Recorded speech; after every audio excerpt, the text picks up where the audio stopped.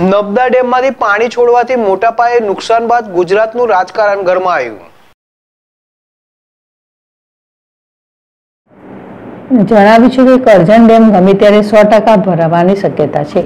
હાલ કરજણ ડેમની સપાટી એકસો તેર પોઈન્ટ ઓગણચાલીસ મીટર સુધી પહોંચી છે, જે ભયજનક સપાટી સપાટી એકસો પંદર પોઈન્ટ પચીસ મીટરથી એક પોઈન્ટ છ્યાસી મીટર દૂર રહી ગયો છે. જો વરસાદની આવક ચાલુ રહે તો કરજણ ડેમ ગમે ત્યારે સો ટકા ભરાવાની પૂરી શક્યતા છે.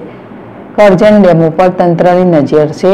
હમણાં જિલ્લા કલેક્ટર, ડીડીઓ અને પ્રોજેક્ટ એડમિનિસ્ટરે કરજણ ડેમની મુલાકાત લીધી હતી. હાલ કરજણ ડેમમાં ઝીરો પોઈન્ટ છ મીટર પહોળા ત્રણ દરવાજા ખોલવામાં આવ્યા છે અને ડેમમાંથી સોળ હજાર ક્યુસેક પાણી છોડવામાં આવી રહ્યું છે. હાલ નબદા ડેમમાંથી પાણી છોડાયા બાદ પૂરથી જે નુકસાન થયું છે તે નવું તેવું નુકસાન કરજણ ડેમમાંથી વધારે પાણી છોડવામાં આવે તો કરજણ કાંઠા વિસ્તારના ગામોને નુકસાન થાય. તેની અગમચેતીના પણ રાખવી જરૂરી છે. હાલ કરજણ ડેમના ત્રણ ગેટ ખોલીને પાણી છોડવામાં આવતા કરજણ નદી બે કાંઠે વહી રહી છે.